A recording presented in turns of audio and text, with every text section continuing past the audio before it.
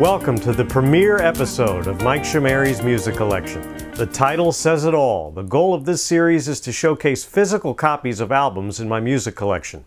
I have over 1,200 CDs and a handful of LPs. In this episode, we'll be looking at six albums in my collection that came out in 1981, the year I was born. Due to copyright restrictions, I can't play excerpts from these albums, but Amazon and eBay links are in the description if you're interested. Let's begin. We start with The Hot Shot by Dan Siegel. It's his second album. I have this on both LP and CD.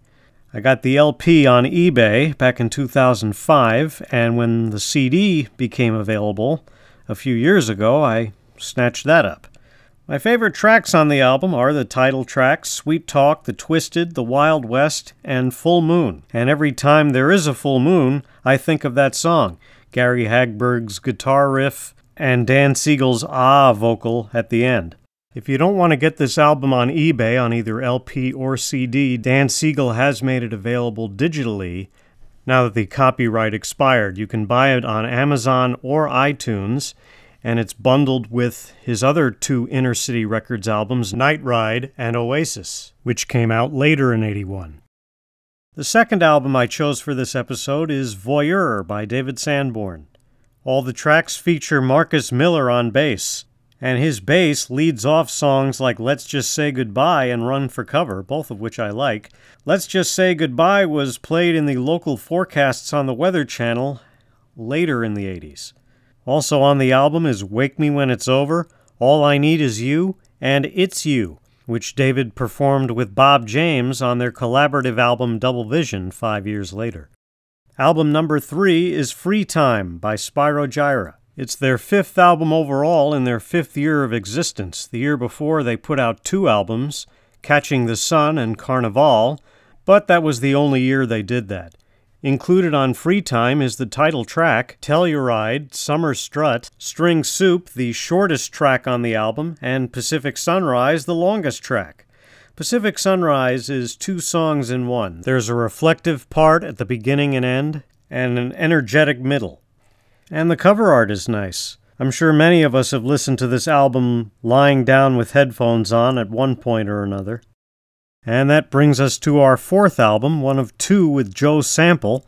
This one is Joe Sample Solo, Voices in the Rain. Among the instrumental tracks, I like the title track, which has some orchestration in it, Eye of the Hurricane, and Greener Grass. There are two vocal tracks on the album, including Burnin' Up the Carnival with Josie James. There are some crazy, echoey vocal interludes by Josie. Um, it's freaky deaky.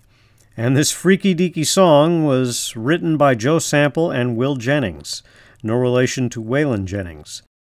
And speaking of Waylon Jennings, there's a cover of his on the Crusaders album that came out in 81, Standing Tall.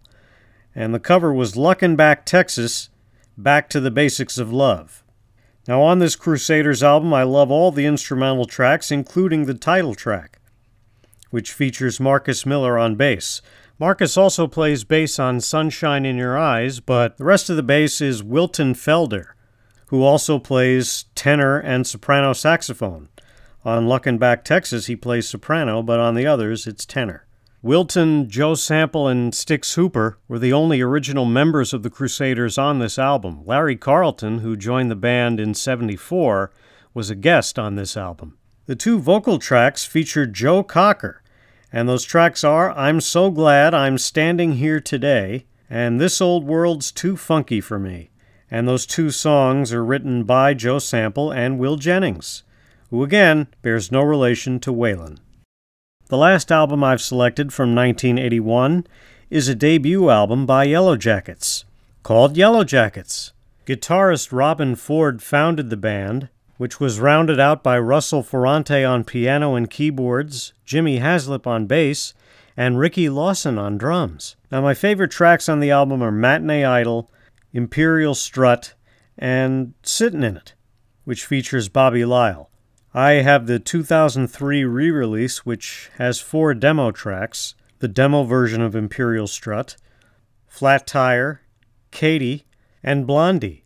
I remember listening to Flat Tire on my iPod while in traffic on the Cross Bronx Expressway back in May 2005, coming back from Penn State the day after my sister graduated. I like Russell Ferrante's solo on Katy as well as on both the demo version and album versions of Imperial Strut. He also has a couple of great solos on Matinee Idol, including the one that fades out at the end. Robben Ford has great solos of his own on both versions of Imperial Strut, as well as Flat Tire. And there you have it six albums from the year of my birth, 1981. Let me know in the comments below if you have those or any other 81 releases. Until the next episode, thanks for watching. So long.